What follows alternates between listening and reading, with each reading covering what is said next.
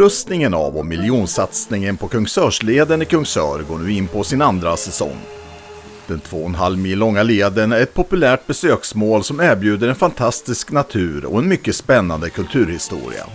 Vilket har märkts i synnerhet det gångna året då många människor i skuggan av pandemin upptäckt friluftslivet.